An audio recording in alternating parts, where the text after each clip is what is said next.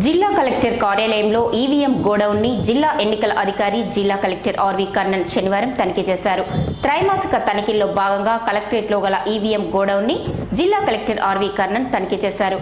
ముందుగా గోడౌన్ సీల్ని పరిశీలించి రాజకీయ ప్రతినిధులు అధికారుల సమక్షంలో సీల్ తీసి లోపలికి వెళ్ళి ఈవీఎం వీవీప్యాట్లు ఉన్న గది లోపల పరిశీలన చేసి తిరిగి సీల్ ఈ సందర్భంగా జిల్లా కలెక్టర్ మాట్లాడుతూ నిరంతరం అప్రమత్తంగా ఉండాలని గోడౌన్ పరిసర ప్రాంతంని శుభ్రంగా ఉంచాలని అనుమతి లేనిదే ఎవరినీ లోపలికి అనుమతించరాదని అధికారులని సెక్యూరిటీ గార్డ్స్ని తెలిపారు.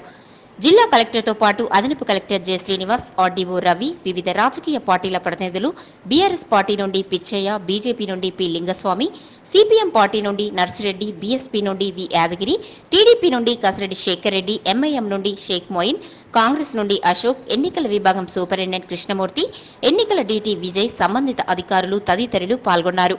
కౌంటింగ్ సెంటర్ సందర్శించిన అనంతరం కలెక్టర్ అనశెట్టి దుప్పలపల్లిలోని గోడౌన్ని జిల్లా కలెక్టర్ ఆర్వి కర్ణన్ పరిశీలించారు. గోదాంలో ఎన్నికల కమిషన్ నిబంధనల మేరకి ఆరు నియోజకవర్గాలకు సంబంధించి కౌంటింగ్కి కౌంటింగ్ రూములు స్ట్రాంగ్ రూములు ఏర్పాటుకి సంబంధించి అధికారులకి జిల్లా కలెక్టర్ సూచనలు చేశారు.